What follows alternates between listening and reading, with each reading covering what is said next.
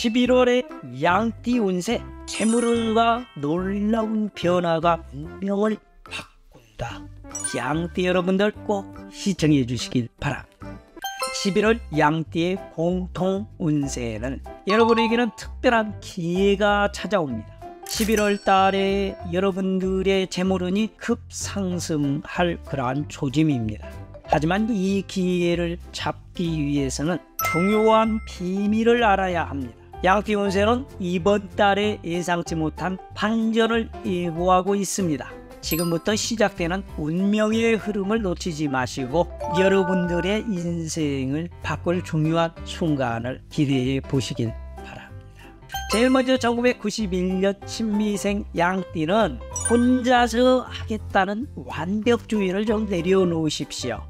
나의 능력을 뽐내고 주변 사람에게 인정을 받을 기회인데요. 주변에 도움을 요청하면 동료나 상사, 선배, 가족이 나서서 나의 든든한 조력자가 되어줄 것입니다. 이어서 1979년 김희생 양띠는 인간관계가 모든 것을 결정짓게 됩니다.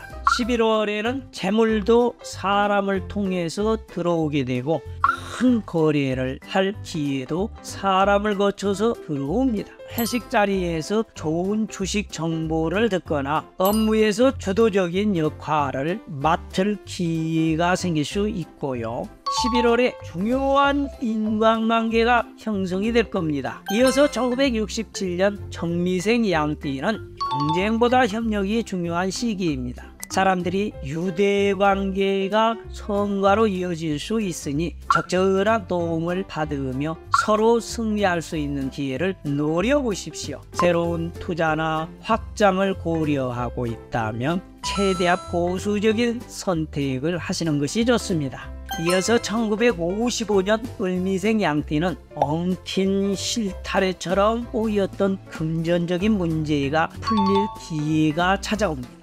갑진년의 잘못된 선택으로 돈 혹은 사람을 잃었다면 이번에 바로잡을 기회가 옵니다. 차분하게 금전의 흐름을 관리하시면서 기회를 엿보시는 게 좋겠습니다. 가정운도 꽤 괜찮습니다. 한달 없이 화목한 분위기가 이어질 것입니다. 식구들이 서로의 마음을 잘 이해하고 함께 시간을 보내는 기회가 많아질 것입니다. 오늘 처음 오신 분이나 아직 구독 안 하신 분들은 구독을 통해 사주는 물론 한상, 손금, 풍수, 성명학과 같은 유익한 저의 새로운 콘텐츠를 만나보실 수 있을 겁니다.